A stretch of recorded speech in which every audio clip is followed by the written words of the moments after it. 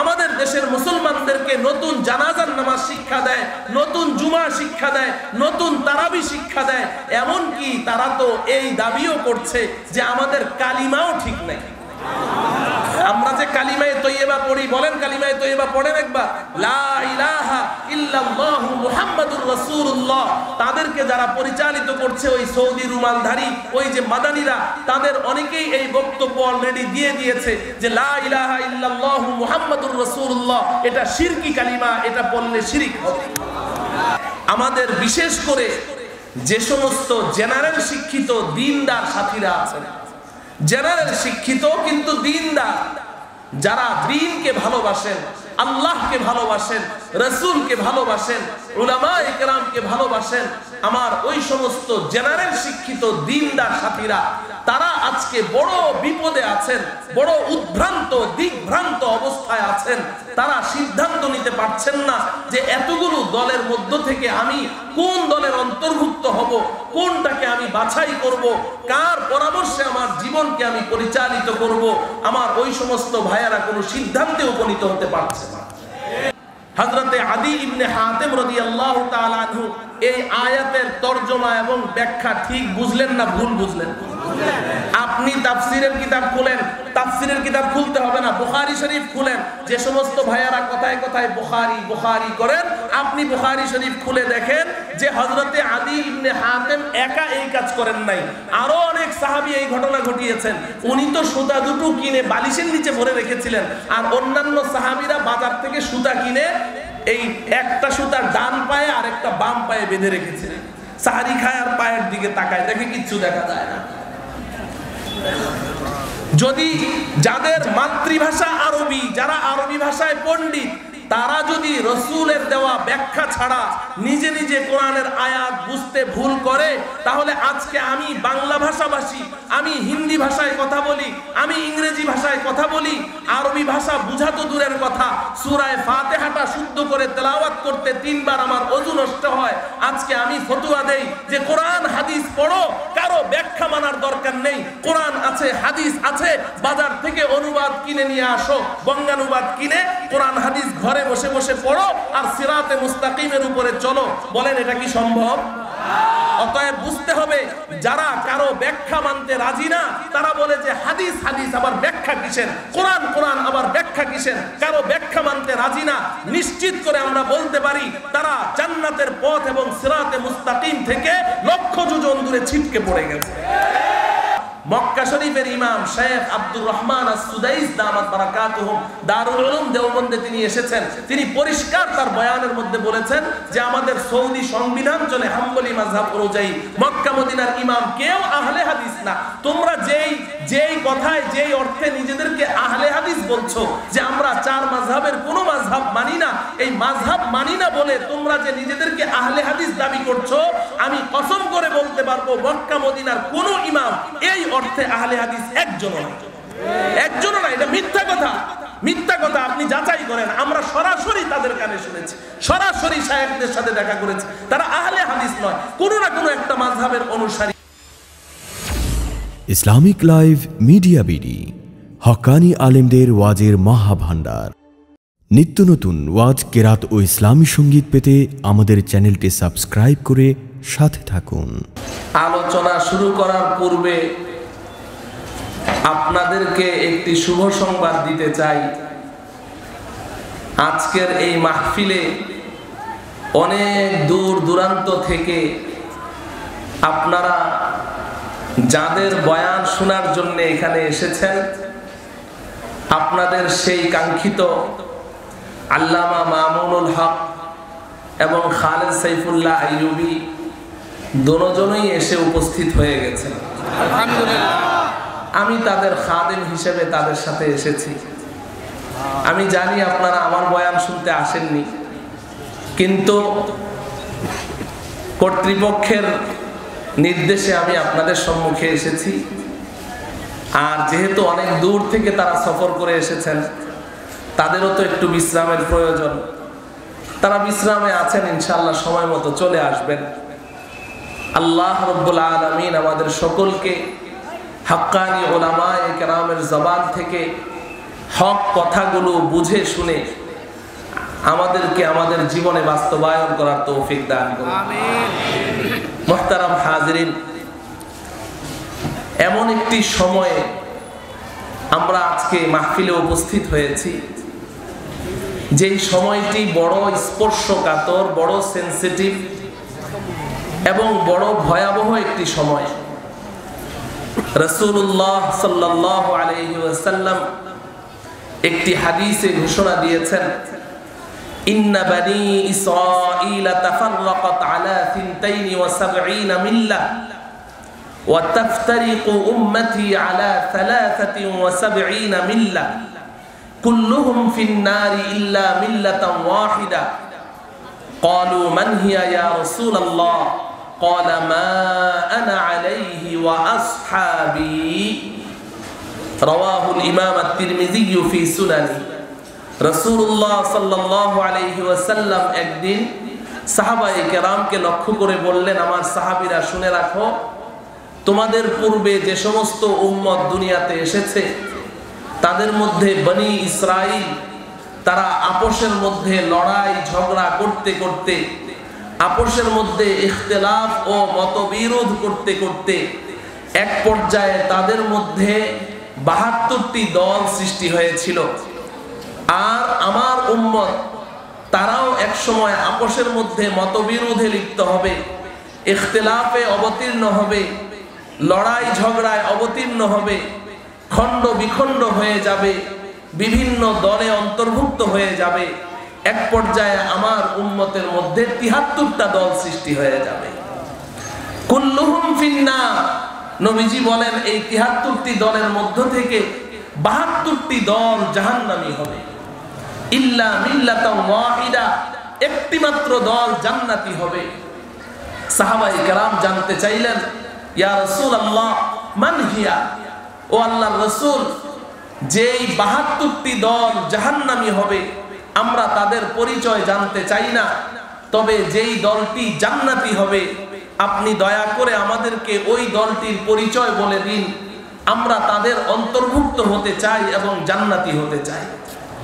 রসুল্লাহ সাল্লাহ ওয়াসাল্লাম জবাবে বললেন, মা আনা আলাইহি আসহাবি।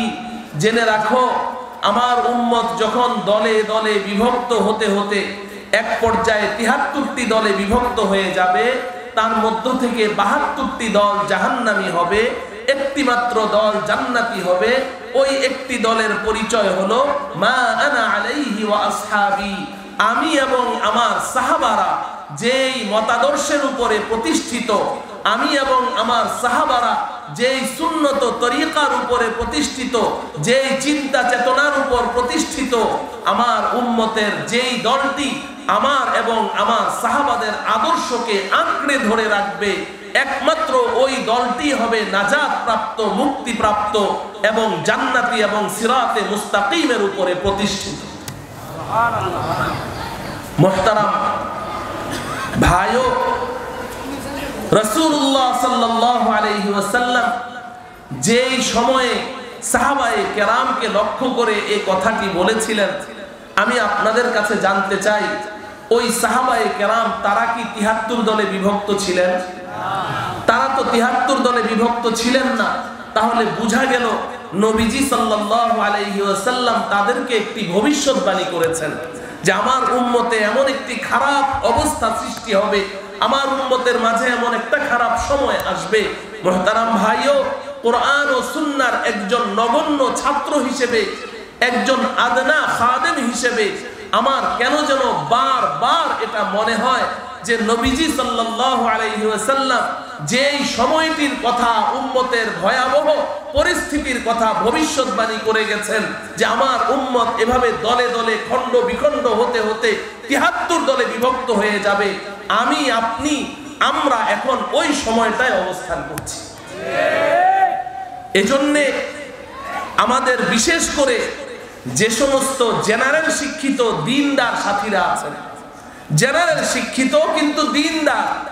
যারা দিনকে ভালোবাসেন আল্লাহকে ভালোবাসেন রসুলকে ভালোবাসেন উলামা ইকরামকে ভালোবাসেন আমার ওই সমস্ত জেনারেল শিক্ষিত দিনদার সাথীরা, তারা আজকে বড় বিপদে আছেন, বড় উদ্ভ্রান্ত দিকভ্রান্ত অবস্থায় আছেন।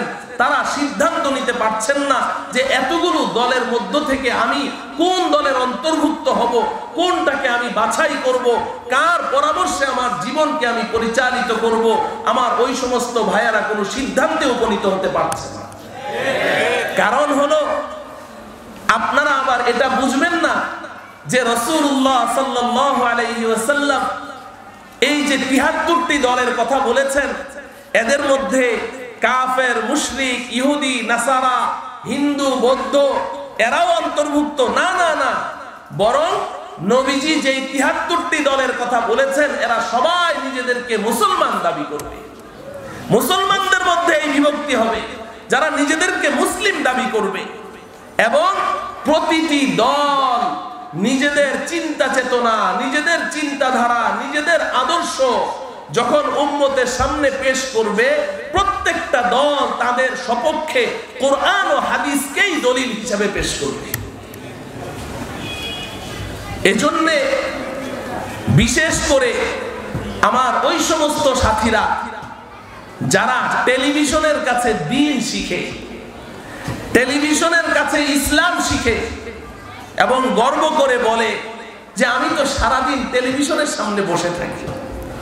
জিজ্ঞাসা করি, আপনি একজন নামাজি মানুষ? দিনদার মানুষ? সারাদিন টেলিভিশনের সামনে বসে থাকেন? এটা আবার গর্বের সাথে বলছেন। না হুজুর, আপনি যেটা ভেবেছেন সেটা না। আমি তো ইসলামিক চ্যানেল দেখি, ইসলামিক চ্যানেল। এই ইসলামিক চ্যানেল দেখি, এই সমস্ত সাথীরা। এরা আছেন বড় বিপদে। কারণ ওই টেলিভিশনের মুফতি সাহেবরা, তারা আপনি এক চ্যানেল ঘুরান, ওই চ্যানেলের মধ্যে দেখবেন একটা মাসালাকে উনি বলছেন, এটা শূন্য আবার চ্যানেল আরেকটা ঘুরান, দেখবেন ওনার মতোই আরেকজন হুজুর বসে আছেন, উনি বলছেন এটা বেদাত। একই কথাকে একজনে বলছেন জায়েজ, আবার চ্যানেল ঘুরান, দেখবেন আরেকজন বলছে না জায়েজ। এখন আপনি তো একজন জেনারেল শিক্ষিত কিংবা অর্ধশিক্ষিত কিংবা অশিক্ষিত, আপনার কাছে তো ওই কষ্টি পাথরটুকু নেই। যেই কষ্টি পাথরে ঘষা দিলে খাঁটি সোনা আর ভেজাল সোনায় পার্থক্য করা যায়। আপনার কাছে ওই কষ্টি পাথর নেই। আপনার কাছে ওই রাডার মেশিন নেই। যে রাডার মেশিনে ধরা পড়বে কোনটা হক, কোনটা বাতিল, কোনটা সত্য, কোনটা মিথ্যা। যার কারণে আপনি যার কথা শুনেন, তারটাই আপনার কাছে হক মনে হয়। আবার এর বিপরীত আরেকজনের লেকচার শুনেন, তখন মনে হয় আগেরটা ঠিক না, এটাই ঠিক। করেন ঠিক না বেঠিক যার কারণে আজকে আমাদের ওই দিনদার সাথীরা বড় উদ্ভ্রান্ত, দিগ্ভ্রান্ত অবস্থায় আছেন। মহতারাম ভাইও এমন একটি পরিস্থিতি, এমন একটি পরিস্থিতিতে আজকে আমি আপনাদের সম্মুখে অত্যন্ত সংক্ষিপ্ত আকারে একটি কথা আরজ করতে চাই, যে আমি যে আপনাদের সম্মুখে সুরাতুল ফাতেহার শেষের তিনটি আয়াত তেলাওয়াত করেছি। সুরাতুল ফাতেহায় আল্লাহ রব্বুল আলমিনের কাছে আমরা প্রতিদিন বারবার আল্লাহ পাকের কাছে দরখাস্ত করছি, ইহদিনা সিরাতাল মুস্তাকিম। ও আল্লাহ, আপনি আমাদেরকে সিরাতে মুস্তাকিমের উপরে পরিচালিত করুন। সিরাতে মুস্তাকিমের উপরে পরিচালিত করুন। এই দোয়াটি আমি আপনি দৈনন্দিন কমপক্ষে বত্রিশ বার করছি কতবার? বত্রিশ বার করছি পাঁচ অক্ত নামাজে ফরজ কয় রাকাত? সতেরো রাকাত বলেন। শূন্যতে মোয়াক্কাদা কয় রাকাত? বারো রাকাত, সতেরো আর বারো কত? উনত্রিশ বেতের নামাজ কয় রাকাত? না, এক রাকাত। তিন রাকাত। উনত্রিশ আর তিন কত? এই বত্রিশ রাখাতে বত্রিশ বার ইহদিনা সিরাতাল মুস্তাকিম বলা হচ্ছে কি হচ্ছে না? এই বত্রিশ বার একটা দোয়া আমি আপনি করছি। দোয়াটি কে শিখিয়েছেন? আল্লাহ রব্বুল আলমিন শিখিয়েছেন, ইহদিনা সিরাতল মুস্তাকিম। ও আল্লাহ, আপনি আমাদেরকে সিরাতে মুস্তাকিমের উপর পরিচালিত করুন। সিরাতে মুস্তাকিম অর্থ কি? মুফাসসিরিন কেরাম তো এর বিশদ ব্যাখ্যা দিয়েছেন। সংক্ষিপ্ত কথা হলো, সিরাতাল মুস্তাকিম আই সিরাতাল জান্নাহ। সিরাতে মুস্তাকিম অর্থ হলো জান্নাতের পথ। সুবহানাল্লাহ কিসের পথ? আল্লাহ রব্বুল আমাদেরকে দোয়া শিখিয়েছেন, বান্দা আমার কাছে এই দোয়াটুকু করো। ইহদিনাস সিরাতাল মুস্তাকিম। ও আল্লাহ, আপনি আমাদেরকে জান্নাতের পথে চালান। জান্নাতের পথে চালান, এর অর্থ কি? এর অর্থ হলো যে এই উম্মত যখন তিহাত্তরটি দলে বিভক্ত হয়ে গেছে, তিহাত্তরটি দলে বিভক্ত হয়ে গেছে, প্রত্যেকেই নিজেদেরকে দাবি করছে, আমি হক আমি হক, বাকি সব বাতিল। এই অবস্থাতে আপনি যদি দয়া করে, মায়া করে আমাকে সিরাতে মুস্তাকিমের উপরে পরিচালিত না করেন, কারণ এই তিহাত্তর দলের মধ্যে সিরাতে মুস্তাকিম তথা জান্নাতের পথের পথিক কয়টি দল? সবাই বলেন কয়টি দল? একটি দল, এই তিহাত্তরটি দলের মধ্য থেকে ওই একটি দলকে বাছাই করে নেয়া আমার পক্ষে সম্ভব হচ্ছে না। কারণ আমার কাছে কষ্টি পাথর নেই, আমার কাছে রাডার মেশিন নেই। আমি তো এই তিহাত্তর দলের মধ্য থেকে ওই সিরাতে মুস্তাকিমটাকে আমি বাছাই করতে পারছি না। ওই যোগ্যতা আপনি আমাকে দেননি, অতএব আপনার দয়ার ভিখারি আমি। আপনি দয়া করে, মায়া করে এই তিহাত্তর দলের মধ্য থেকে সাহাবাই কেরাম নবীজির কাছ থেকে যেই দলটির পরিচয় জেনে নিয়েছিলেন আমাকে ওই দলের অন্তর্ভুক্ত করেন যেই পথের পথিকদের পরিচয় জেনে নিয়েছিলেন তথা জান্নাতের পথের পথিক আমাকে তাদের দলভুক্ত করেন। এই দোয়াটি আমরা দৈনন্দিন কতবার করছি বত্রিশ বার।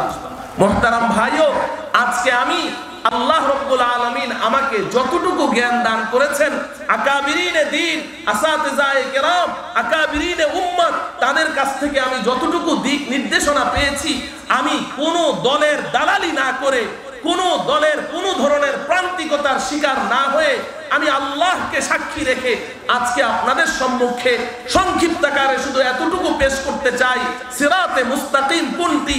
যদি জান্নাতের পথে চলতে চাও, তাহলে জান্নাতের পথ চিনতে হবে, বলেন ঠিক না জান্নাতের পথ না চিনলে জান্নাতের পথে চলা যাবে? অতএব জান্নাতের পথ আমাকে চিনতে হবে। আমি যতটুকু চিনি, আপনাদেরকে চেনানোর চেষ্টা করছি। ইন্নি লাকুম নাসিহুন আমিন। আমি আপনাদের একজন শুভাকাঙ্ক্ষী হিসেবে বলব, আমি কোন দলের দালালি করতে আসিনি। আল্লাহ রব্বুল আলামিন তিলাওয়াতকৃত আয়াত এবং হাদিসকে সামনে রেখে আমাকে এই বিষয়ের উপরে কিছু হক কথা ইখলাসের সাথে বলার তৌফিক দান করুন। আমাদের সকলকে এই কথাগুলো আমলের নিয়তে শোনার তৌফিক দান করুন। মোহতারাম হাজরিন, সংক্ষিপ্ত কথা হলো, আল্লাহ রব্বুল আলমিন এই জান্নাতের পথে চলার জন্যে, জান্নাতের পথে প্রতিষ্ঠিত হওয়ার জন্যে আমাদের কাছে আল্লাহ পাক দুটো বস্তু পাঠিয়েছেন। কয়টি বস্তু? দুইটি মাধ্যম পাঠিয়েছেন। কয়টি মাধ্যম? দুইটি মাধ্যম। কথাগুলো খুব মনে রাখবেন। নিজের বিবেকের সাথে বুঝাপড়া করবেন। আল্লাহ রব্বুল আলমিন আমাদের সকলকে একটি আকলে সালিম দান করেছেন। সুস্থ এবং সুষ্ঠু বিবেক দান করেছেন। আপনি আপনার বিবেকের সাথে আমার কথাগুলো নিয়ে বুঝাপড়া করবেন এবং সময় থাকতে সঠিক সিদ্ধান্ত গ্রহণ করবেন। আল্লাহ রব্বুল আলমিন আমাদের সকলকে জান্নাতের পথে চলার তৌফিক দান করুন। মোহতারাম হাজরিন। জান্নাতের পথে চলার জন্য আল্লাহ রব্বুল আলমীর আমাদের কাছে কয়টি মাধ্যম পাঠিয়েছেন? দুইটি মাধ্যম পাঠিয়েছেন। একটি মাধ্যমকে বলা হয় কিতাবুল্লাহ। আমার সাথে সবাই বলেন। কিতাবুল্লাহ। আরেকটি মাধ্যমকে বলা হয় রিজালুল্লাহ। বলেন। রিজালুল্লাহ। কয়টি মাধ্যম হলো? দুইটি মাধ্যম। একটি মাধ্যমকে বলে কিতাবুল্লাহ, আরেকটি মাধ্যমকে কি বলে? রিজালুল্লাহ। এই দুইটি মাধ্যম আল্লাহ পাক আমাদেরকে পাঠিয়েছেন জান্নাতের পথে পরিচালিত করার জন্য, সিরাতে মুস্তাকিমের উপরে চলার জন্য। প্রথম মাধ্যমটির নাম কি বলেছি আবার বলেন? কিতাবুল্লাহ অর্থ কি? আল্লাহর কিতাব। কিতাবুল্লাহ অর্থ কি? কিতাবুল্লাহ অর্থ কি? আল্লাহর কিতাব। এই আল্লাহর কিতাব আমাদের কাছে যেই কিতাবটি আছে, এই কিতাবটির নাম কি? আল কোরআনুল করিম। বলেন, এই আল কোরআনুল করিম আমাদেরকে কিসের পথ দেখায়? জান্নাতের পথ। কোনো সন্দেহ আছে? তাহলে সবাই বলেন, কিসের পথ দেখায়?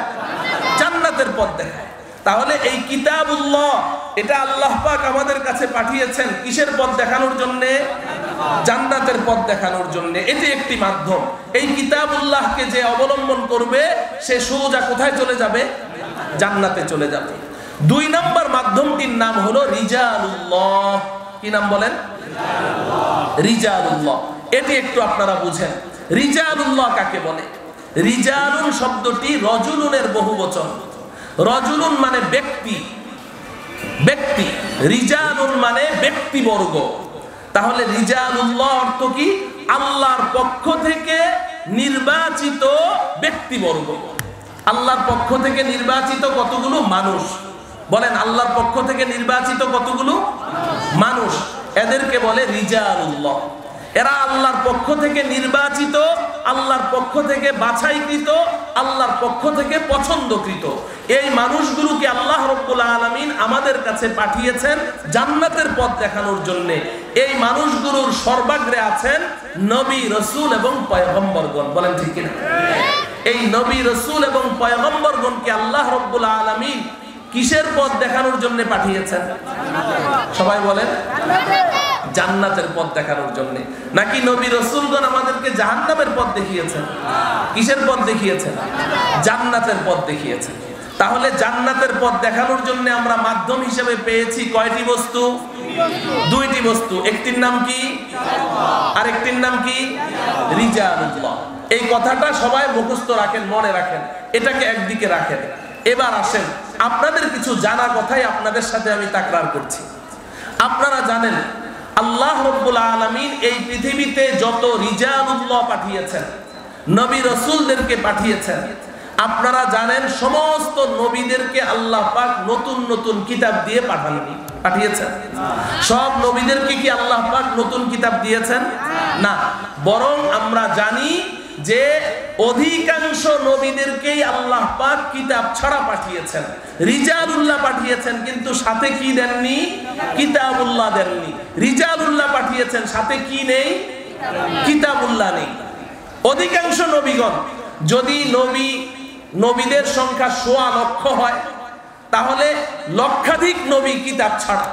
যদি সোয়া দুই লক্ষ হয়, তাহলে দুই লক্ষের অধিক নবী কি ছাড়া? কিতাব ছাড়া মুষ্টিমেও কিছু নবী রসুলকে আল্লাহ পাক দিয়েছেন। কিতাব দিয়েছেন। কিতাব ছাড়া নবীর সংখ্যা বেশি, কিতাবওয়ালা নবীর সংখ্যা সামান্য। বলেন ঠিক কিনা? তো আল্লাহ রব্বুল আলমিন অধিকাংশ রিজালকে পাঠালেন, ব্যক্তিকে পাঠালেন রিজাল উল্লাহকে পাঠালেন, কিতাবুল্লাহ ছাড়া। নবী রসুল পাঠালেন কিতাব ছাড়া। এবার বলেন দেখি নবী ছাড়া কয়টা কিতাব দুনিয়াতে পাঠিয়েছেন? হ্যাঁ? মাশাল এই হলো ওলামা ইসলামের সোহবতের দাম। দেখেন, নবী ছাড়া একটি কিতাবও পাঠাননি। কিতাব ছাড়া অধিকাংশ নবীদেরকে পাঠিয়েছেন। কিন্তু নবী ছাড়া একটি কিতাবও প্রশ্ন হলো, আল্লাহ রব্বুল আলমী কিতাব ছাড়া অসংখ্য নবী পাঠালেন, কিন্তু নবী ছাড়া আল্লাহ পাক একটি কিতাবও কেন পাঠালেন না? নবী ছাড়া একটি কিতাবও কেন পাঠালেন না? যদি এই প্রশ্নের জবাবে আমি বলি যে নবী ছাড়া কিতাব পাঠানোর ক্ষমতা আল্লাহ নেই তাহলে কি আপনারা এটা মানবেন? এ কথা মানলে ইমান থাকবে? আল্লাহ কি কিতাব নাজেল করতে নবীর মুখপেক্ষী? তাহলে বোঝা গেল নবী ছাড়া কিতাব পাঠানোর ক্ষমতা আল্লাহর আছে। ঠিক না বেঠি? তো যদি আল্লাহ পাকের নবী ছাড়া কিতাব পাঠানোর ক্ষমতা থেকে থাকে তো আল্লাহ পাক কিতাব ছাড়া এত নবী পাঠালেন নবী ছাড়া একটি কিতাবও দুনিয়াতে কেন পাঠান নাই? প্রশ্ন জাগে কি জাগে না? এই প্রশ্নের একমাত্র জবাব একমাত্র জবাব ভালো করে বুঝে নেন। এই জবাবটুকু যদি বুঝে আসে, ইনশাআল্লাহ অনেক সমস্যার সমাধান আপনার হাতে চলে আসবে। মোহতারাম দোস্ত, আল্লাহ রব্বুল আলামিন নবী ছাড়া একটি কিতাবও এজন্য পাঠাননি যে আসমানি কিতাব, আল্লাহর পক্ষ থেকে নাজেলকৃত কিতাব, এই কিতাব আমার আপনার পক্ষে তথা কোনো উম্মতের পক্ষে ততক্ষণ পর্যন্ত বুঝে সিরাতে মুস্তাকিমের উপরে জান্নাতের পথে চলা সম্ভব নয়। যতক্ষণ পর্যন্ত ওই কিতাবকে আল্লাহর পক্ষ থেকে প্রেরিত পয়গম্বর ব্যাখ্যা করে বুঝিয়ে না দিবেন পয়গম্বরের দেওয়া ব্যাখ্যা ছাড়া কোন উম্মতের পক্ষে নিজে নিজে এই কিতাব পড়ে, আসমানি কিতাব তথা কিতাবুল্লাহ, শব্দ দুইটা মনে রাখবেন। রিজালুল্লাহর ব্যাখ্যা ছাড়া এই কিতাবুল্লাহ বুঝে জান্নাতের পথে চলা, সিরাতে মুস্তাকিমের পথে চলা আমাদের পক্ষে সম্ভব সময় সংক্ষেপ, আমি ছোট্ট একটা উদাহরণ দিই। আমাদের মাতৃভাষা বাংলা, কারও হিন্দি, কারও ইংরেজি। কিন্তু যাদের উপরে কোরআন নাজেল হয়েছিল, তাদের মাতৃভাষা কি ছিল? আরবি ছিল। আপনারা যারা ইতিহাস পড়েন জানেন, যেই জাতির উপরে কোরআন আরবি ভাষায় নাজেল হয়েছে, তাদের শুধু মাতৃভাষা আরবি ছিল, এতটুকু বলে ক্ষান্ত করলে চলবে না। বরং তারা প্রত্যেকেই আরবি ভাষার বড় বড় পণ্ডিত ছিল। পণ্ডিত ছিল। আমাদের মাতৃভাষা বাংলা, কিন্তু শতকরা নাইনটি আমরা বাঙালি, বাংলা ভাষার উপরে আমাদের কোনো নলেজ নেই। ঠিক কিনা? বাংলা ব্যাকরণ, সাহিত্যের উপরে আমাদের কোনো হাত নেই। কিন্তু আরবদের অবস্থা এমন ছিল যে তারা আরবি সাহিত্য নিয়ে গর্ব করত। এক একজন কঠিন কঠিন আরবি ভাষায় কবিতা রচনা করে বাইতুল্লাহ কাবা ঘরের গিলাফে ঝুলিয়ে দিত চ্যালেঞ্জ ছুড়ে দিত। আছো কেউ আমার এই কবিতার অনুরূপ আরেকটা কবিতা রচনা করবে, তাকে এত এত পুরস্কার দেওয়া হবে। আরবি ভাষায় তারা বড় পণ্ডিত ছিল, বড় মাহের ছিল, দক্ষ ছিল। এই সমস্ত আরবদের উপরে আল্লাহ পাক কোরআন নাজেল করলেন, আসমানি কিতাব নাজেল করলেন কোন ভাষায়? তাইলে তাদের কি এই কিতাব বুঝতে কোনো কষ্ট হওয়ার কথা? এবার আসেন, আপনি তাফসিরের কিতাব খুললে দেখবেন অনেক ঘটনা আপনার সামনে এমন চলে আসবে যে আরবি ভাষায় কোরআন নাজেল হলো, আরবদের উপরে নাজেল হলো। যারা আরবি ভাষার পণ্ডিত, যাদের ভাষাটা আমাদের এই আরবি ব্যাকরণের জন্য দলিল হিসেবে পেশ করা হয় তাদের উপরে কোরআন নাজেল হয়েছে আরবি ভাষায়। তারা কোরআনের আয়াত নাজেল হওয়ার পরে একটা অর্থ বুঝে আমল শুরু করেছেন। নবীজি ডেকে বললেন, তুমি এই আয়াতের অর্থ কিচ্ছু বুঝো নাই। আল্লাহ পাক এটা বলেননি। আল্লাহ পাকের উদ্দেশ্য ভিন্ন। নবীজি ভুল ধরিয়ে দিয়েছেন। তারপরে তারা আবার ভিন্ন আমল শুরু করেছে। আমি একটা ঘটনা শোনাই। তফসির ইবনে কাসির, তফসিরে কুরতুবির মধ্যেও আছে যে ইসলামের প্রাথমিক যুগে রমাজানুল মুবারকে সাহরি খাওয়ার নিয়ম ছিল, ঘুমের আগে খেতে হবে। রমজান মাসে আমরা যে সেহরি বলি, বাঙালিরা সেহরি, এটার মূল শুদ্ধ শব্দ কি? সাহারি। এই সাহারিটা খাওয়ার নিয়ম ছিল, ঘুমের আগে খেতে হবে। এশার নামাজ পড়ার আগে খেতে হবে। এশার নামাজ পড়ে ফেলেছো, আর তুমি কিছু খেতে পারবে না। ঘুমিয়ে পড়েছো, মাগরিব পড়ে ঘুমিয়ে পড়েছো, আর এক ফোঁটা পানিও খেতে পারবে না। বুখারী শরীফের মধ্যে একাধিক জায়গায় এই ঘটনা এসেছে। জনৈক সাহাবী, ভীষণ গরমের সময় আনসারি সাহাবি, আনসাররা তো অধিকাংশরা তারা কৃষি কাজ করতেন মহাজিররা বেশিরভাগ ব্যবসা বাণিজ্য করতেন। তো ওই আনসারি সাহাবি, তিনি সারাদিন খেতে কাজ করেছেন রোজা রেখে। সন্ধ্যাবেলা ক্ষুধার্ত, তৃষ্ণার্ত অবস্থায় ইফতারের সময় ঘরে আসলেন। বিবিকে বললেন, বিবি খাবারের কিছু থাকলে দাও, বড্ড ক্ষুধা পেয়েছে। কিন্তু ঘরে এক মুঠো খাবারও নেই, একটি খেজুরও নেই যে স্বামীর সামনে পেশ করবে। কিন্তু বিবি তো পরহেজগার বিবি, ন্যাককার বিবি। আমাদের বিবিদের মতো হলে তো ভিন্ন চিত্র ছিল। যদি কারও ঘরে এক মুঠো খাবারও না থাকে, চাউলও নেই, ডাউলও নেই, ঘরে পাকানোর মতো কিচ্ছু নেই, বিবি কোনো কিছু খুঁজে পেল না পাকানোর মতো। স্বামী এসে যদি বলে যে, ভাত দে। তাহলে তো চোদ্দ গোষ্ঠী উদ্ধার করে ছেড়ে দিবে অমুকের পুত, তমুকের পুত পিছা মারা পোড়া কপাইল্লা, ঘরে নাই, এক মোট চাউল, আবার খানা চায় স্মরণ নাই, ইত্যাদি ইত্যাদি। সকলের বিবির কথা বলছি না। কিন্তু বিবি তো সাহাবি, নেককার, পরহেজগার বিবি।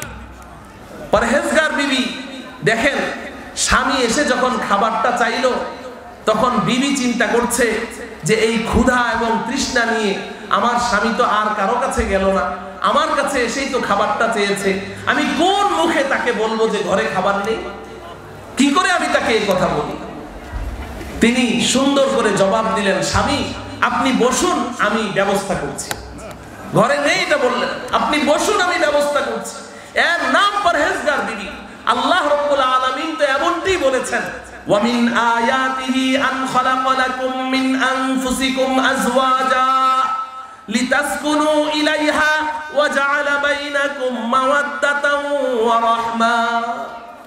আল্লাহ রাব্বুল আলামিন বলেন, আল্লাহ পাকের অস্তিত্বের নিদর্শন হলো, আল্লাহ পাক তোমাদের মধ্য থেকে তোমাদের বিবিদেরকে সৃষ্টি করেছেন। লিতাসকুনু ইলাইহা, ও পুরুষ আমি তোমার কাঁধে অনেক দায়িত্ব চাপিয়ে দিয়েছি। তোমার নিজের খরচ, বিবির খরচ, সন্তানের খরচ, বৃদ্ধ, বৃদ্ধা, বাবা মায়ের খরচ, সমাজের দায়িত্ব, রাষ্ট্রের দায়িত্ব, হাজারো দায়িত্ব আমি আল্লাহ তোমার কাজে দিয়েছি। এই দায়িত্ব পালন করতে গিয়ে তুমি সারা দিন পথে, ঘাটে, হাটে, বাজারে, অফিসে, আদালতে, রাজপথে, সংসদে সারা দিন গাধার মতো খাটাখাটনি করছ। বিকেল বেলা ক্ষুধা, তৃষ্ণা, ক্লান্তি, হাজারো টেনশন মাথায় নিয়ে তুমি ঘরে ফিরবে, দরজাটা নক করবে, ঘরে তোমার নেককার পরহেজগার স্ত্রী আছে, স্ত্রী নামের নিয়ামত আমি রেখে দিয়েছি। দরজাটা নক করো, তোমার নেককার পরহেজগার স্ত্রী হাসি মুখে একটি সালাম দিয়ে দরজাটা খোলা মাত্রই, ওই মুচকি হাসিটা দেখা মাত্রই আল্লাহ পাক বলেন, নিমিষের মধ্যে তোমার সমস্ত ক্ষুধা, তৃষ্ণা, ক্লান্তি, সমস্ত টেনশন দূরীভূত হয়ে তুমি একটি জান্নাতি প্রশান্তি অনুভব করবে। লিতাসকুনু ইলাইহা লিতাসকুনু ইলাইহা এর নাম হলো পরহেজগার বিবি। ও যুবক, বিবাহ করবে, পরহেজগার বিবি বিবাহ করবে, নেককার বিবি বিবাহ করবে। ফাসফার বিজাতির দিন তারিবাত ইয়াদাক। নবীজি বলেছেন, সুন্দরী দেখো না, তোমার পয়সা, অর্থ দেখো না, সামাজিকতা দেখো না, সামাজিক স্ট্যাটাস এগুলো দেখার দরকার নাই, বংশীয় স্ট্যাটাস এগুলো দেখার দরকার নাই। তুমি দিন দেখো দিন দেখো, তাহলে আদ-দুনিয়া কুল্লুহা মাতা, ওয়া খায়রু মাতা'id দুনিয়া আল মারআতু সালিহা। পৃথিবীর শ্রেষ্ঠ সম্পদ পরহেজগার, স্ত্রীর তুমি মালিক হয়ে যেতে পারো। সাহাবী, বিবিও সাহাবী, উত্তর দিলেন, স্বামী, আপনি বসেন, আমি ব্যবস্থা করছি। স্বামীকে বসিয়ে রেখে পাশের বাড়িতে গেলেন, কিছু গম নিয়ে আসলেন হাওলাত করে। এনে জাতাকলে এটাকে পিষলেন। জাতাকল মুরব্বীরা চিনবেন, যুবকরা চিনবেন চাক্কির মধ্যে পিষলেন। পিষে আটা করে তারপরে পানি দিয়ে ওটাকে খামিরা করলেন। এরপর রুটি বেললেন। রুটি বেলে গরম পানিতে সেকে এই গরম গরম রুটি নিয়ে তিনি এবার রওনা করলেন স্বামীকে গরম রুটি খাওয়াবেন। এই কাজগুলো করতে তার সময় লাগেনি। অনেক সময় লেগে গেছে। স্বামী বেচারা, ওখানে তিনি যখন গরম গরম রুটি নিয়ে হাসতে হাসতে স্বামীর কাছে গেলেন, গিয়ে দেখেন স্বামী বেচারা খাবারের জন্য অপেক্ষা করতে করতে ওখানে শুয়ে ঘুমিয়ে পড়েছে। আমার ওয়াজ যদি আপনারা বুঝে থাকেন, এবার উত্তর দেন। ওই সময় আল্লাহ পাকের যে বিধান ছিল, ওই বিধান অনুযায়ী স্বামীকে এখন ঘুম থেকে তুলে এই গরম গরম রুটিগুলো খাওয়ানো যাবে? হ্যাঁ? মাশাআল্লাহ। কারণ তখনকার বিধান হলো, ঘুমিয়ে পড়েছো তো আর কিছু খেতে পারবে না। স্ত্রী যখন স্বামীকে ঘুমে দেখলেন, চোখে পানি এসে গেল, হায় রে আমার কপালটা এত পোড়া যে আমি এত মেহনত করেও স্বামীর মুখে একটু রুটি দিতে পারলাম না। কিন্তু আল্লাহ পাকের বিধান, বোখারি শরীফের মধ্যে এসেছে, পরের দিন যখন ওই অবস্থাতে ওই সাহাবী আবার রোজা রাখলেন, খাবার তো কিছুই পেলেন না, পরের দিন ওই অবস্থায় রোজা। বেলা যখন কিছুটা উপরে উঠেছে, ওই অবস্থায় ওই সাহাবী, তিনি আর বরদাস্ত করতে পারলেন না, বেহুশ হয়ে জমিনে পড়ে গেলেন। যখন জমিনে পড়ে গেলেন, তখন ওই স্ত্রী দৌড়ে গেলেন রসুল্লাহ সাল্লাহ আলহি সাল্লামের দরবারে, ইয়া রসুল আল্লাহ আল্লাহ পাকের বিধান, এখানে তো আমাদের কিছুই করার নেই, কিন্তু আমার স্বামীকে কালকে তো আমি কোনো খাবার দিতে পারলাম না, ওই অবস্থায় রোজা রেখেছেন, এখন তো বেহুশ হয়ে জমিনে পড়ে আছে। এই অবস্থায় এখন আমি কি করব?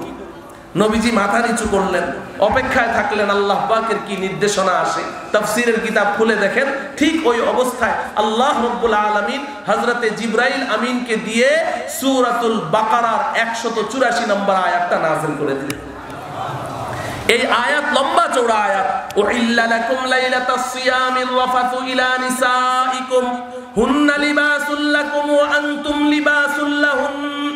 লম্বা আয়াত।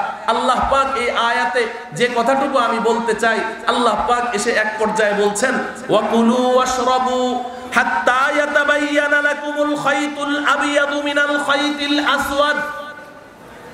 আল্লাহ পাক বলেন, আজকে থেকে আমি আমার বিধান সহজ করে দিলাম। কি সহজ করলাম? তোমরা সাহারি খেতে থাকো, রমজানের রাতে যতক্ষণ খেতে মনে চায় খেতে থাকো। কতক্ষণ পর্যন্ত খাবে?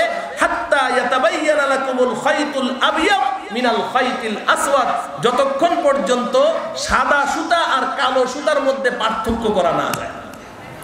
এই সাদা সুতা আর কালো সুতায় যতক্ষণ পার্থক্য করা না যাবে, অতক্ষণ খেতেই থাকো খেতেই থাকো। বলেন, এই বিধানটা আগের চেয়ে সহজ হলো না কঠিন হলো? শুধু সহজ না অনেক সহজ? অনেক সহজ। এই আয়াত যখন নাজল হয়েছে, সাহাবাই কালামের মধ্যে তো আনন্দের বন্যা বয়ে গেছে যে আজকে থেকে কত আরাম। এক সাহাবি ওই মজলিসে বসেছিলেন, নাম হজরতে আদি ইবনে হাতেম তাআলা আনহু। তিনি আর ধৈর্য ধরতে পারলেন না, মজলিস থেকে আস্তে করে উঠে চলে গেলেন। তো গেলেন কোথায়? বাজারে গেলেন, বাড়িতে না। বাজারে গিয়ে একটি সাদা সুতা আর একটি কালো সুতা কিনলেন। কিনে বাড়িতে গেলেন। বাড়িতে গিয়ে এবার বিবিকে বললেন, বিবি, আজকে থেকে খালি আরাম আর আরাম। কিসের আরাম? দেখবে আজকে কত মজা। এই যে দেখো, সুতা নিয়ে আসছে। এখন সুতা দুটো তিনি বালিশের নিচে ভরে রাখলেন। বালিশের নিচে ভরে রেখে স্বামী স্ত্রী রাত্রে দিলেন ঘুম। শেষ রাত্রে উঠে এবার দুইজনেই সাহারি খান। সাহারি খান আর একটু পর পর সুতা বের করে করে দেখে পার্থক্য করা যায় কিনা। বাতি জ্বালানো না নিবানো নিভানো। জ্বালানো থাকলে তো এখনও পার্থক্য করা যায়। একটু পর পর দেখে দেখে যে কিচ্ছু দেখা যায় না। তো আবার বালিশের নিচে ভরে রাখে, আবার খায়। গল্প করে, কত আরাম। এইভাবে খাওয়াও চলছে, সুতা দুটো দেখে দেখে কোনো পার্থক্য করা যায় না। আবার খায়। ওনাদের খাবার চলছে, ওদিকে মসজিদে ফজরের আজানও শেষ, নামাজও শেষ। সুদায় সুদায় আর পার্থক্য করা যায় এক পর্যায়ে হজরতে আদির অন্তরে একটু কামড় দিয়ে উঠল যে, কতক্ষণ পর্যন্ত আর খাব? কারণ আরব দেশে তো ঘরগুলো মাটির ঘর হতো। মাটির ঘর যারা দেখেছেন, তারা দেখেছেন দরজাগুলো অনেক নিচু হয় আর জানালা তো একেবারে ছোট্ট ছোট্ট। আকাশে সূর্য উঠলেও ভিতরে আলো ঢুকে না, বলেন ঠিক কিনা? এখন আকাশে সূর্য উঠে যায়, সুতায় সুতায় কিন্তু পার্থক্য করা যায় না। পরের দিন হাজরাতে আদি চলে গেলেন রসুলের কাছে। ইয়া রসুল আল্লাহ আল্লাহ পাকনা গতকালকে আয়াতটা নাজিল করলেন। সাদা সুতা আর কালো সুতায় যতক্ষণ পার্থক্য করা না যায় ততক্ষণ সাহারি খাও। ইয়া রসুল আল্লাহ আমি তো দুইটা সুতা কিনে আমার বালিশের নিচে ভরে রেখেছিলাম। এবার আমি সাহারি খাই, সুতায় সুতায় তো পার্থক্য করা যায় না। আকাশে তো সূর্য উঠে যায়।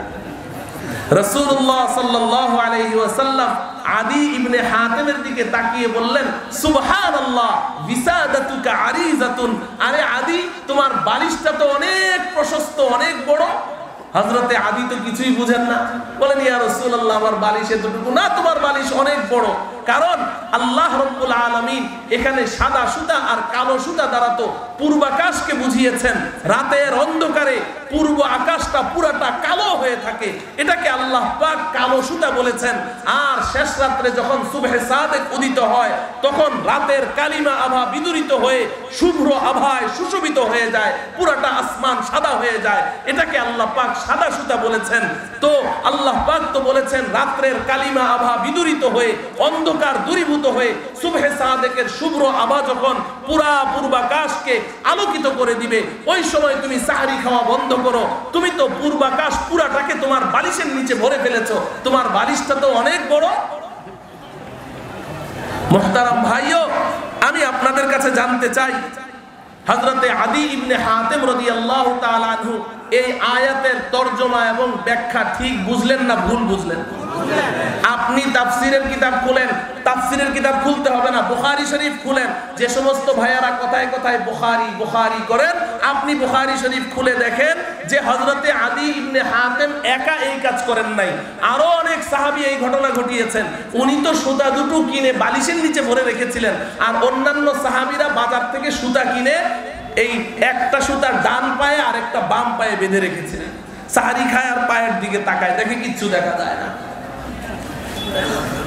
যদি যাদের মাতৃভাষা আরবি, যারা আরবি ভাষায় পণ্ডিত তারা যদি রসুলের দেওয়া ব্যাখ্যা ছাড়া নিজে নিজে কোরআনের আয়াত বুঝতে ভুল করে, তাহলে আজকে আমি বাংলা ভাষাভাষী, আমি হিন্দি ভাষায় কথা বলি, আমি ইংরেজি ভাষায় কথা বলি, আরবি ভাষা বুঝা তো দূরের কথা। সুরায় ফাতেহাটা শুদ্ধ করে তেলাওয়াত করতে তিনবার আমার অজু নষ্ট হয়। আজকে আমি ফতুয়া দেই যে কোরআন, হাদিস পড়ো, কারও ব্যাখ্যা মানার দরকার নেই। কোরআন আছে, হাদিস আছে, বাজার থেকে অনুবাদ কিনে নিয়ে আসো বঙ্গানুবাদ কিনে কোরআন, হাদিস ঘরে বসে বসে পড়ো আর সিরাতে মুস্তাকিমের উপরে চলো। বলেন, এটা কি সম্ভব? অতএব বুঝতে হবে, যারা কারও ব্যাখ্যা মানতে রাজি না, তারা বলে যে হাদিস হাদিস আবার ব্যাখ্যা কিসের? কোরআন কোরআন আবার ব্যাখ্যা কিসের? কারও ব্যাখ্যা মানতে রাজি না, নিশ্চিত করে আমরা বলতে পারি, তারা জান্নাতের পথ এবং সিরাতে মুস্তাকিম থেকে লক্ষ যোজন দূরে ছিটকে পড়ে গেছে। অতএব আমার যে সমস্ত সাথী ও বন্ধুগণ, বিশেষ করে এই আপনাদের এলাকার মানুষ তো মিডল ইস্টে থাকে বেশি সৌদি প্রবাসী, আরব দেশে যারা থাকে, এই বন্ধুরা, এরা আজকে আমাদের এলাকার মধ্যে আরও ফেতনা বেশি বাড়াচ্ছে। তারা ওই আরব দেশে চাকরি করে আর এখানে এসে মুফতি সাহেব হয়ে যায়। মুফতি সাহেব বসে এসে বাস ফতুয়া দেওয়া শুরু করে দিল। যে, আরে, তোরা কি নামাজ পড়িস? তোদের এটা হলো বাঙালি নামাজ। নবীজি এসেছে সৌদি আরবে। আরব দেশের নামাজ, ওটা হলো পারফেক্ট নামাজ। অতএব ভিডিও চিত্র দেখায়। ওই যে দেখ, আরব দেশের মানুষ কত জোরে আমিন বলে। তোরা তো আমিন আস্তে আস্তে বলিস। তোদের নামাজ, এটা হলো বাঙালি নামাজ। এটা আসল নামাজ বলে কি বলে না? হ্যাঁ। এই এলাকার মধ্যে বিভ্রান্তি ছড়াচ্ছে। আর এদেরকে আরও বেশি করে বিভ্রান্ত করছে আমাদের দেশের কিছু মিডিয়া, মিডিয়ার মধ্যে ইলেকট্রনিক্স মিডিয়ার মধ্যে। সৌদি রুমাল পড়ে এরপরে নামের শুরুতে ডক্টর, আর শেষে হলো মাদানি। এই ডক্টর, মাদানিরা, এরা আমাদের এলাকার মুসলমানদেরকে আরও বেশি বিভ্রান্ত করছে। মোহতারাম ভাইও, আমি আপনাদের কাছে এই দাওয়াতটুকু পৌঁছাতে চাই যে যারা আজকে সৌদির কথা বলে বলে আমাদের দেশের মুসলমানদেরকে নতুন নামাজ শিক্ষা দিচ্ছে, আমাদের দেশের মুসলমানদেরকে নতুন জানাজার নামাজ শিক্ষা দেয়, নতুন জুমা শিক্ষা দেয়, নতুন তারাবি শিক্ষা দেয় এমন কি তারা তো এই দাবিও করছে যে আমাদের কালিমাও ঠিক নেই। আমরা যে কালিমায়ে তৈয়বা পড়ি, বলেন কালিমায়ে তৈয়বা পড়েন একবার। লা তাদেরকে যারা পরিচালিত করছে ওই সৌদি রুমালধারী, ওই যে মাদানীরা, তাদের অনেকেই এই বক্তব্য অলরেডি দিয়ে দিয়েছে যে এটা শিরকি কালিমা, এটা বললে হবে। এতদূর পর্যন্ত গড়িয়ে গেছে, আপনাদের খবর নেই। আপনাদের খবর নেই।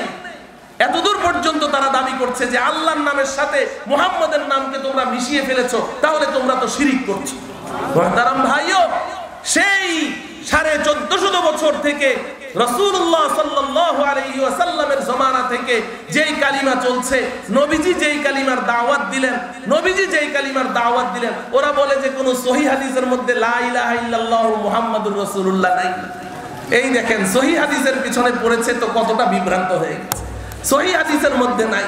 সারা দুনিয়ার মানুষ একেবারে রসুলের জমানা থেকে সাহাবাই কেরাম তাবেইন যেই কালিমা পড়ে মুসলমান হলো, আজকে ওই কালিমাকে তারা শিরিক পর্যন্ত বলছে। তাহলে আমি যে কথা বললাম, যে কোরআন বুঝবে, হাদিস বুঝবে, এই কোরআন বুঝতে হবে, রসুলের দেওয়া ব্যাখ্যা অনুযায়ী নবীজি সাহাবাদেরকে যে ব্যাখ্যা দিয়েছেন সাহাবাই কেরাম তাবেইনদেরকে যে ব্যাখ্যা শিখিয়েছেন, ওই ব্যাখ্যা মতো তোমাকে কোরআন, হাদিস বুঝতে হবে। নিজের ব্রেন খাটিয়ে তুমি কোরআন, হাদিস বুঝো। যতই তুমি ব্রিলিয়ান্ট হও, তুমি যদি সায়েন্সের ছাত্র হও, কিংবা বিসিএস ক্যাডার হও, যতই তোমার ব্রেন শার্প হোক না কেন, কোরআন, হাদিস নিজে নিজে পড়ে তোমার পক্ষে বোঝা সম্ভব। মোহতারাম ভাইও, এজন্য খুব মনে রাখবেন, খুব মনে রাখবেন। আমরা এই উপমহাদেশের মুসলমান, যেভাবে আমরা এতদিন নামাজ পড়েছি, আমাদের নামাজ সব কোরআন ও হাদিস অনুযায়ী একেবারেই পুরোপুরি ঠিক আছে, আমাদের জানাজাও ঠিক আছে, আমাদের কালিমাও ঠিক আছে, সব ঠিক আছে। আপনাদেরকে তারা বিভ্রান্ত করছে, তারা নিজেরাও বিভ্রান্ত হয়ে গেছে। নিজেরা বিভ্রান্ত হয়ে গেছে। সৌদি সরকার সৌদির সংবিধান চলে হাম্বলি মাঝহাব অনুযায়ী। কি মাঝহাব অনুযায়ী? হাম্বলি মাঝহাব মক্কা শরীফের ইমাম শেখ আব্দুর রহমান দারুল দেওবন্দে তিনি এসেছেন। তিনি পরিষ্কার তার বয়ানের মধ্যে বলেছেন যে আমাদের সৌদি সংবিধান চলে হাম্বলি মাযহাব অনুযায়ী। মক্কা মদিনার ইমাম কেউ আহলে হাদিস না। তোমরা যেই যেই কথায়, যেই অর্থে নিজেদেরকে আহলে হাদিস বলছো যে আমরা চার মাযহাবের কোনো মাযহাব মানি না, এই মাযহাব মানি না বলে, তোমরা যে নিজেদেরকে আহলে হাদিস দাবি করছ, আমি কসম করে বলতে পারব, মক্কা, মদিনার কোন ইমাম এই অর্থে আহলে হাদিস একজন নাই। একজনও নাই, এটা মিথ্যা কথা। মিথ্যা কথা আপনি যাচাই করেন, আমরা সরাসরি তাদের কানে শুনেছি। সরাসরি সাহেবদের সাথে দেখা করেছি। তারা আহলে হাদিস নয়, কোনো না কোনো একটা মাঝহাবের অনুসারী। তুমি যদি এখন বলো যে হ্যাঁ আমি হাম্বলি মাঝহাবের অনুসারী, তাহলে তোমার সাথে আমাদের কোনো ঝগড়া নাই। তুমি হাম্বলি মাঝহাবের সব বিষয়ে ওই মাঝহাবকে অনুসরণ করে চলো। আমিন জোরে বলো, তুমি হাত পেটে বাঁধো না, বুকে বাঁধো না, মাথায় বাঁধো, আমাদের কোনো আপত্তি নাই। কিন্তু যদি বলো যে, না, কোনো মাঝহাব মানা যাবে না, আহলে হাদিস মাঝহাব মানা যাবে না। কোরআন, হাদিস মানি। তাহলে বুকের সাহস থাকলে, পাঠা থাকলে আমাদের সামনে এসে কথা বলো আমাদের সামনে এসে কথা বলো। সাধারণ জনগণকে বিভ্রান্ত করবে না। যাদের কাছে ওই রাডার মেশিন নাই, তাদেরকে বিভ্রান্ত করবে না। আজকে আমার কথা হয়তো মিডিয়াতে প্রচার হবে। আমি আপনাদেরকে কারও গিবতের জন্য বলছি না, কারও শেকায়ত করার জন্য বলছি না। শুধু আপনাদের এতমিনানে কল্পের জন্য, দিলের প্রশান্তির জন্য বলছি। এই যে এদের ইমাম একজন আছে বাংলাদেশে, আব্দুর রাজ্জাক বিন ইউসুফ। আছে না নাই? তার ছেলে, সেও এখন বাবার চেয়ে আরও কয়েক ধাপ এগিয়ে। চ্যালেঞ্জ করেছে। আমার সাথে মোনাজারা করবে। মোনাজারা করবে, আট রাকাত তারাবি না বিশ রাকাত তারাবি। আরও অনেকগুলো সাবজেক্টে মোনাজারা করবে। তাদের আরও কয়েকজন ইমাম মিলে তারা মোনাজারা করবে। আজকে থেকে আরও তিন বছর আগের ঘটনা। মোনাজারা করবে শর্ত দিয়েছে যে আমাদের ওই এলাকায় আমি যেই মাদ্রাসায় বোহারি শরীফ পড়াই, আদাবর, ওখানকার একজন প্রভাবশালী ব্যক্তি, আবুল কাসেম সাহেব কাউন্সিলর ওনার অফিসে আমার কাছে যখন আসলো, আমি বললাম যে না, অফিসে কোনো মোনাজারা হবে না। মোনাজারা খোলা ময়দানে হবে কিংবা বড় জামে মসজিদে হবে। অফিসের ভিতরে মোনাজারা হবে না। কারণ এরা কথায় কথায় মিথ্যা কথা বলে। অনেক, ওরা বলল, আমাদের নিরাপত্তার সমস্যা আছে। আবুল কাসেম সাহেবকে বললাম, আপনি নিরাপত্তার ব্যাপারে তাদেরকে ইয়ে করেন, আশ্বস্ত করেন। এরপর রাজি হলো, জামে মসজিদে হবে। এরপর তেরোটা শর্ত পাঠিয়েছে, তেরোটা শর্ত। আবুল কাসেম সাহেব দেখে তিনি ভয় পেয়ে গেলেন যে এতগুলো শর্ত, আজগুবি কতগুলো শর্ত? আমি বললাম যে ওরা তেরোটা না যদি তেরোশো শর্ত আপনার কাছে পাঠায়, তাও আপনি রাজি হয়ে যান। খালি আমাকে একটু তাদের সাথে মুখোমুখি বসার ব্যবস্থা করে দেন। তারপরে আপনি দেখবেন কে হক আর কে না হক। আবুল কাসেম সাহেব তেরো শর্ত মেনে নিলেন। এরপরে তারিখ হলো, ওই তারিখে আমার মিরপুর দশ নম্বর বেনারসি পল্লীতে মাহফিল ছিল। মাহফিল ক্যান্সেল করে আমি মাদ্রাসায় এসেছি। বিশ্বাস করেন, আল্লাহকে হাজির নাজির জানিয়ে বলছি, একটুও বাড়িয়ে বলছি না। মাদ্রাসায় আসার পরে আবুল কাসেম সাহেব সংবাদ পাঠাইলেন যে, ওনাদের পক্ষ থেকে কয়েকজন লোক এসে বলে গেছে, ওনাদের শায়েখের পাতলা পায়খানা হয়েছে, আজকে বসতে পারবে না। মিডিয়াতে প্রচার হচ্ছে আমার কথা, ওনাদের কানে যাবে। আমি একেবারেই যেটা সত্য, আমি হুবহু ওই কথাটা বলছি। মোহতারাম ভাইও, আপনাদেরকে বিভ্রান্ত করছে। এর আগে আরেকটা মোনাজারা এরকম হওয়ার কথা, মিরপুর এক নম্বরে, শাহালি থানা জামে মসজিদ। এই শাহালি থানা জামে মসজিদে দুপুরবেলা আমি খানা খেতে বসেছি। তারা মুফতি দেলোয়ার সাহেবকে তালাশ করেছেন। মুফতি দেলোয়ার সাহেব তখন উপস্থিত ছিলেন না। আমি তার কাছাকাছি থাকি। আমাকে ফোন করে বললেন যে, হুজুর, তারা তো আসতেছে। মুফতি দেলোয়ার সাহেবকেও পাচ্ছি না। এখন কি করা যায়? আমি খানা রেখে আমি চলে গেছি। আপনারা এটা জেনে রাখেন, খানা রেখে আমি চলে গেছি। বিলম্ব করিনি, যাতে করে এসে এই কথা না বলে যে ভয় পেয়ে গেছে। কিতাব নিয়ে ওখানে উপস্থিত হলাম। পরবর্তীতে মুফতি দেলোয়ার সাহেবও আসলেন। আসর পর্যন্ত অপেক্ষা করছি। ওনারা আসছে, এই গাজীপুরে আছে, অমুক জায়গায় আছে। আসর ওখানে থাকলাম আমরা। এরপরে বলে যে বক্সিবাজার গেছে বোখারি শরীফ আনতে। বক্সিবাজার বুখারি শরীফ আনতে গেল কেন? আমাদের এখানে তো অনেক বুখারি শরীফ আছে, শত শত বুখারি শরীফ আছে। বক্সিবাজার যেতে হবে কেন? এরপর মাগরিব এসা কোনো খবর নেই। এরপর আমার প্রোগ্রাম ছিল, আমি চলে গেছি। বলে আসলাম যে ওনারা যদি রাত্রে বারোটায় আসে, তাও আমাদেরকে খবর দিবেন, আমরা উপস্থিত হয়ে যাব। পরবর্তীতে এশান নামাজের আগ মুহূর্তে নাকি তারা এসছিল দুইজন লোক। আসার পরে এশান নামাজের পরে তাদেরকে আর খুঁজে পাওয়া যাচ্ছে না। এরপর শোনা গেল পাশে এক বাড়িতে গিয়ে জমায়েত হয়েছে। এরপর যখন আমরা খবর দিলাম, ওই বাড়িতে আসছি, ওই বাড়িতে আসার আগে আগেই তারা পালিয়ে চলে গেছে। এই হচ্ছে এদের অবস্থা। এজন্য বিভ্রান্ত হওয়ার কোনো সুযোগ নেই। এই, এ বিষয়ে আমি কোনো কথা আজকে বলতে চাই নাই। আমি অন্য আরেকটা বিষয়ে কথা বলতে চেয়েছি। আমার হাতে আর পাঁচ থেকে দশ মিনিট সময় আছে। মুহতারাম হাজরিন।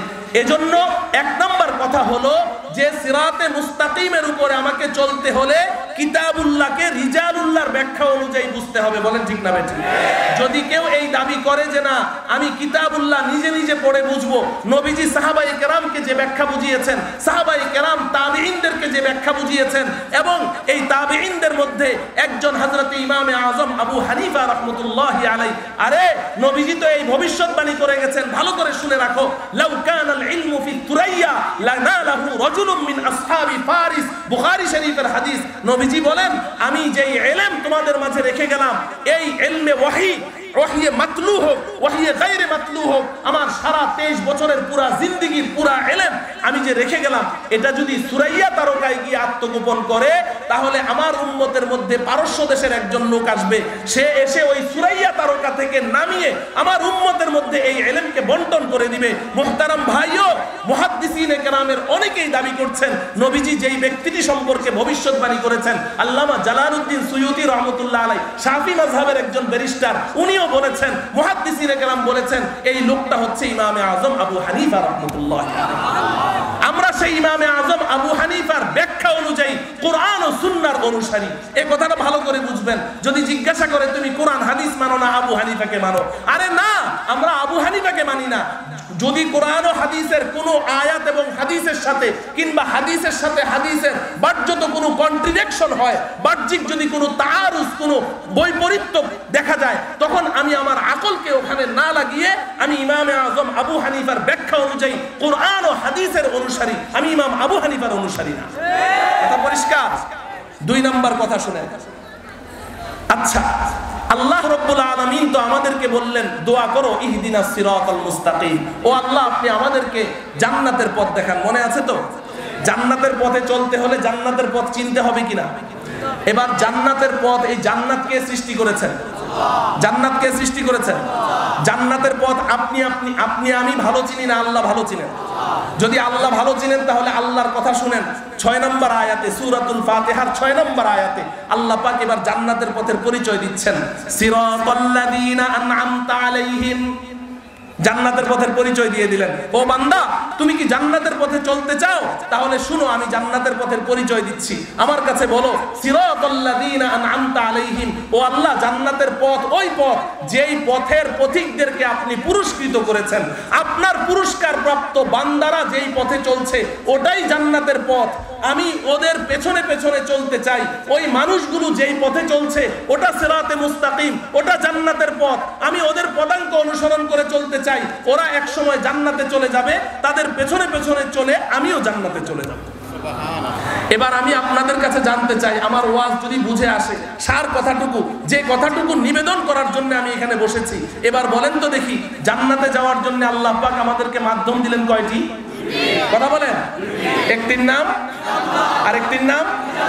এবার বলেন, সুরাতুল ফাতিহার ছয় নম্বর আয়াতে আল্লাহ পাক যে আমাদেরকে জান্নাতের পথের পরিচয় দিলেন, এখানে কি কিতাবুল্লাহর কথা বললেন না রিজাল রিজালুল্লাহর কথা বললেন? মাশাআল্লাহ। কিসের কথা বলেছেন? রিজাল রিজালুল্লাহর কথা বলেছেন। ওই মানুষগুলোকে দেখিয়ে দিয়েছেন, এ আল্লাহ, ওই মানুষগুলোর পেছনে আমাকে চালাও। আল্লাহ যদি এখানে ছয় নম্বর আয়াতে, ইহদিনা সিরাতাল মুস্তাকিমের পরে যদি বলতেন সিরাতাল কোরআন ছয় নম্বর আয়াতটা যদি এমন হতো? যে জান্নাতের পথ হলো কোরআনের পথ, তাহলে কি ভুল হতো? কোরআনের পথ কি জান্নাতের পথ না? আল্লাহ পাক সিরাতাল কোরআন না বলে সিরাতাল্লাযীনা আন'আমতা আলাইহিম কেন বললেন? আল্লাহ পাক কোরআনকে না দেখিয়ে ওই রিজালুল্লাহকে, কিতাবুল্লাহর কথা না বলে রিজালুল্লাহর কথা কেন বললেন? বাস এই প্রশ্নের জবাবটা দিয়ে আমার আলোচনা আমি শেষ করছি। আল্লাহ এখানে জান্নাতের পথ দেখাতে গিয়ে মাধ্যম তো দুটো দিয়েছেন। একটির কথা উল্লেখ করেননি, আরেকটির কথা উল্লেখ করেছেন। সেটিও আবার রিজালুল্লাহ, ব্যক্তিদেরকে আল্লাহ দেখিয়ে দিয়েছেন। কেন দেখালেন? একটা উদাহরণের মাধ্যমে বুঝাই। ধরেন আপনার বাড়ি উত্তরবঙ্গ, রংপুর। জীবনে কোনোদিন ঢাকা আসেননি, জন্ম রংপুর। এখন জীবনের শেষ মুহূর্তে ষাট সত্তর বছর বয়স। আপনার মনে খুব ইচ্ছা হলো আপনি ঢাকা শহরে যে জাতীয় সংসদ ভবনটা আছে, এটা একটু দেখবেন। সুন্দর একটা বিল্ডিং আপনার পোস্টারে হ্যান্ডবিলে দেখা যায়, ক্যালেন্ডারে দেখা যায়। জীবনে তো ঢাকা আসেননি। আপনার ভাতিজা এলাকার চেয়ারম্যান, গেলেন চেয়ারম্যানের কাছে, ও চেয়ারম্যান, আমি তো কোনোদিন ঢাকা যাইনি, সংসদ ভবনটা আমার দেখতে মনে চায়। একটু আমাকে রাস্তাটা বলে দাও তো। চেয়ারম্যান বলেন যে, আপনি তো জীবনে ঢাকা যাননি, অতএব মুখে বললে আপনি মনে রাখতে পারবেন না, কাগজ কলম নিয়ে আসেন। আপনি কাগজ কলম নিয়ে আসলেন এবার চেয়ারম্যান সাহেব কাগজ কলম নিয়ে এবার আপনাকে ড্রয়িং করে রাস্তা বলে দিচ্ছে। আপনি এখন ঠিক রংপুরের এই জায়গায় আছেন, এখান থেকে দুই কিলোমিটার পূর্ব দিকে গেলে একটা তিন রাস্তা পড়বে। ওখান থেকে ডান দিকে সাত কিলোমিটার গেলে একটা চার মাথা পড়বে। ওখান থেকে আপনি আবার ডান দিকে মোড় নিবেন, ডান দিকে মোড় নিলে আপনি তিন কিলোমিটার গেলে একটা সাত মাথা পড়বে। সাত মাথা, সাত মাথার মোড়ে গিয়ে সামনেও যাবেন না, ডানেও যাবেন না, বাঁয়েও যাবেন না। সামনের পথ আর বাঁয়ের পথের মাঝামাঝি তেরসা একটা পথ গেছে। ওই পথ দিয়ে গাড়িটা ঢুকাবেন। এটা দিয়ে দুই কিলোমিটার গেতেই আবার একটা পাঁচ পাতার মোড় পড়বে। এভাবে চেয়ারম্যান সাহেব কলম একবার ডানে একবার বাঁয়ে, একবার সোজা, একবার বাঁকা টানছে। আর আপনি এভাবে তাকিয়ে আছেন, আপনার মাথাটা ভোগ করে ঘুরছে। ঠিক কিনা বলেন? একটি কিতাবুল্লাহ, আরেকটি রিজালুল্লাহ। কিন্তু কিতাবুল্লাহ আমি নবীদের উপরে নাজেল করেছি। নবীরা এই কিতাবুল্লাহর আলোকে, তারা ছিল রিজালুল্লাহ। তোমাদেরকে জান্নাতের পথ দেখিয়েছেন। কিন্তু নবীগণ যখন চলে গেছেন, এবার সাহাবাই জান্নাতের পথ দেখিয়েছেন। যখন যখন সাহাবাই চলে গেলেন তাবে জান্নাতের পথ দেখিয়েছেন। আল্লাহ রাব্বুল আলামিন বলেন, আমি তো দুইটা মাধ্যম দিয়েছিলাম। একটা কিতাবুল্লাহ, আরেকটা রিজালুল্লাহ। কিন্তু তোমরা দুনিয়াতে এসে ব্যবসা, বাণিজ্য, চাকুরি, বাকরি, বিভিন্ন ঝামেলায় পড়ে, তোমরা তো কিতাবুল্লাহর এলেম অর্জন করতে পারলে না, অতএব তোমাদেরকেও আমি বঞ্চিত করব না, জান্নাতের পথ থেকে তোমাদেরকেও মাহরুম করব না। এক কাজ করো, আল্লাহর পয়গম্বর, আল্লাহ বলেন, আমার পয়গম্বররা ছিলেন রিজালুল্লাহ এবং তারা যখন চলে গেলেন, তখন তাদের উত্তরসূরি তাদের উত্তরসূরি উলামা ইকরাম ইন্নামাল উলামা আম্বিয়া, তাদেরকে আল্লাহ রাব্বুল আলামিন বলেন, নবীগণ তাদেরকে রেখে গেছেন রিজালুল্লাহ হিসেবে। প্রত্যেক যুগে আমার আমার নির্বাচিত, আমার পছন্দের বান্দারা এই জমানার মধ্যে আছে, যারা এই কিতাবুল্লাহর কিতাবুল্লাহর ধারক বাহক, তুমি যেহেতু এই কিতাবুল্লাহর মালিক হতে পারোনি, অতএব তোমার জীবনের গাড়িটা ওই রিজালুল্লাহদের পেছনে লাগিয়ে দাও। ওই রিজালুল্লাহ, ওরা আমার পুরস্কার প্রাপ্ত বান্দা, যারা নাকি এই কিতাবের হামেল হয়েছে ইন্নামাল উলামা ওয়ারাসাতুল আম্বিয়া। নবীজি বলেন, আমার ওয়ারিসদেরকে রেখে গেলাম। সাহাবারা আমাকে দেখে দেখে জান্নাতের পথে চলেছে। এবার তোমরা আমার ওয়ারিসদেরকে দেখে দেখে জান্নাতের পথে চলো। আল্লাহ পাক বলেন, এরা আমার পুরস্কার প্রাপ্ত বান্দা। এদের পেছনে চলো। এরা এক সময় জান্নাতে চলে যাবে, তোমরাও জান্নাতে চলে যাবে। মোহতারাম ভাইও, আমার সময় শেষ হয়ে গেছে। বরকতের জন্য বলছি, তোমরা ভুল করো না, তোমরা ভুল করো না। নবীজি বলে গেছেন ইন্নামাল উলামা ওয়ারাসাতুল আম্বিয়া। আমার এই ইলমে ওয়াহি, এই কোরআন এবং এই হাদিস আমার 23 বছরের জীবনের ওয়াহিয়ে মাতলু ওয়াহিয়ে গায়রে মাতলু, পুরাটার ধারক বাহক যারা, এরা আমার ওয়ারিস এরাই হচ্ছে আল্লাহ পাকের পুরস্কার প্রাপ্ত বান্দা।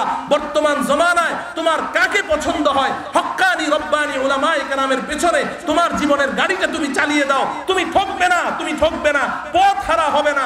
পথ হারাবার কোনো ভয় নেই। তোমার যদি পছন্দ হয়, বর্তমান বিশ্বের উপমহাদেশের সর্বশ্রেষ্ঠ বলিয়ে কামেল এবং নবীজির ওয়ারিস সমস্ত ওলামা ইকরামের মাথার তাজ, সমস্ত মুসলমানদের নেতা, ধর্মীয় নেতা, হাট হাজারির হজরত হজরত মাওলানা মুফতি আহমদ শফির গাড়ির পেছনে তোমার জীবনের গাড়িটা চালিয়ে দাও।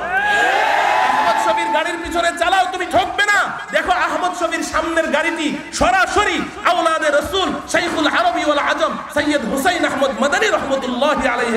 দাঁড়িয়ে আছে। মাদানীর গাড়ির সামনেটি দেখো সামনের গাড়িটি দেখো শাইখুল হিন্দ মাহমুদ হাসান দেওবন্দির গাড়ি এর সামনে দেখো কাসেম নানুতুবির গাড়ি এর সামনে দেখো আব্দুল গনি মুজাদ্দিদির গাড়ি এর সামনে দেখো শাহ ইসহাকের গাড়ি এর সামনে দেখো শাহ আব্দুল আজিজ মুহাদ্দিসুদ দেহলভির গাড়ি এর সামনে দেখো শাহ ওলিউল্লাহর গাড়ি এর সামনে দেখো শেখ আবু তাহের আল মক্কির গাড়ি তার সামনে দেখো শেখ ইব্রাহিম আল কুর্দির গাড়ি তার সামনে দেখো আর শেখ আল মজ্জাহির গাড়ি তার সামনে দেখো আর শিহাব আহমদ আসুবকির গাড়ি তার সামনে দেখো শেখ আন নাজমুল গাইদির গাড়ি, তার সামনে দেখো শেখ আজাইন জাকারিয়ার গাড়ি, তার সামনে দেখো শেখ আল ইজ আব্দুর রহিমের গাড়ি, তার সামনে দেখো শেখ ওমর আল মারাদির গাড়ি, তার সামনে দেখো শেখ আল ফখরুবনুল বুখারীর গাড়ি, তার সামনে দেখো, আ- Sheikh Abul Fatah Abdul Malik al Harbi al Karukhir গাড়ি, তার সামনে দেখো শেখ আবু আমের মাহমুদ ইবনুল কাসেম আল ইজদির গাড়ি, তার সামনে দেখো শেখ আবুল আব্বাস মুহাম্মদ ইবনে আহমদ আল মাহবুবি আল মারওয়াজি আল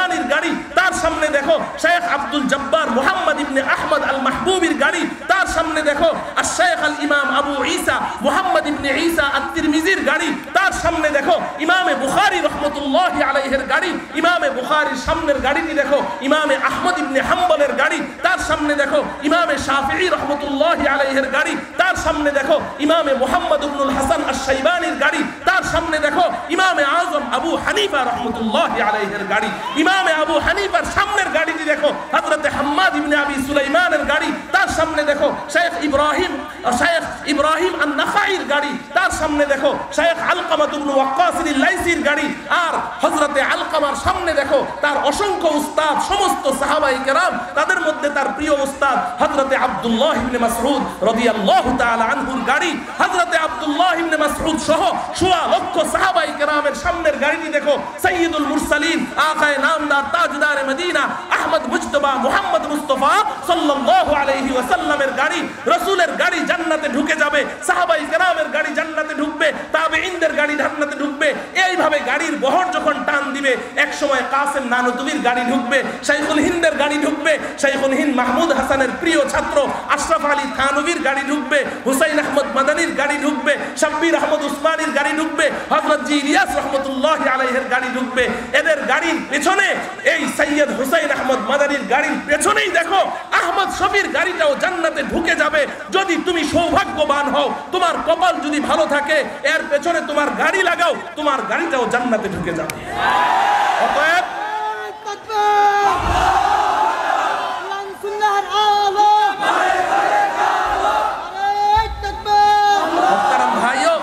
সময় শেষ হয়ে গেছে মোহতারাম ভাইও, এজন্য সময় থাকতে সঠিক সিদ্ধান্ত নাও। সময় থাকতে সঠিক সিদ্ধান্ত নাও।